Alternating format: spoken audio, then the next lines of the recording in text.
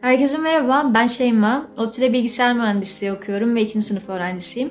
ODTÜ Kitap Topluluğu'nda da üçüncü senem. Bugün sizlere bir sonraki kritik kitabımız Meysa Kesmez'in Nohtoda kitabından bahsedeceğim. Nohtoda kitabı 2018'de yayınlanmış bir kitap. 2019 yılında da Said Faik Hikaye Armağanı ödülüne layık görülüyor. Daha öncesinde Meysa Kesmez iki farklı öykü kitabı yayınlamıştı. Birisi Atları Bağlayın Geceyi Burada Geçeceğiz, diğeri de Bazen Bahar. Nohtoda öykü kitabına baktığımızda aslında adı gibi Nohtoda etrafında dönen 5 farklı öykü görüyoruz. Bu öyküler birbirlerinden hem bir o kadar farklı hem de bir o kadar aynı aslında. Örneğin ilk öyküde e, giden herkesin arkasında bıraktığı eşyalarla ev dizmeye çalışan bir karakterin öyküsünü okuyoruz.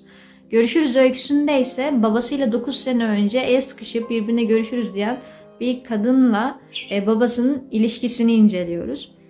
E, bu sebeple aslında birbirinden biraz uzak, çaresizlik ve içindeki hüzün anlamında da birbirine yakın öyküler okuduğumuzu söyleyebilirim.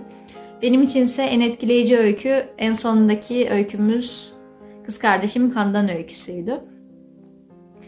Diğer iki kitabı Bazen Bahar ve Atları Bağlayan Geceyi Burada Geçeceğiz'le kıyaslarsam kişisel olarak beni en çok etkileyen Melisa Kesmez öykü kitabı Atları Bağlayın Geceyi Burada Geçeceğiz. Ee, zaten bu kitaptan sonra Melisa Kesmez fanı olmuştum. Fakat Noto'da kitabına baktığımızda da Melisa kaleminin ne kadar geliştiğini, ne kadar derinleştiğine şahit alıyoruz. Bu sebeple ödülü kesinlikle hak ettiğini düşünüyorum. Eğer siz de bu kitap üzerine konuşmak ya da sadece bizi dinlemek isterseniz 30 Mart akşamı saat 8'de Notoda'nın kritiğini yapıyor olacağız. Hepinizi bekliyoruz. Görüşmek üzere. Kendinize bakın. Edebiyatla kalın.